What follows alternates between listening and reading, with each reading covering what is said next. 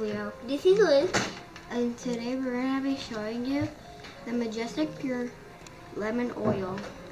It's five times strength, 100% pure and natural, and therapeutic grade. We got this to review it to you, and and you, you put it in this with water, and click this button. It will turn blue, and you got mist. It smells like lemon, and and it can smell like mint and other different oils too. I think it smells very strong. But we're using this one today.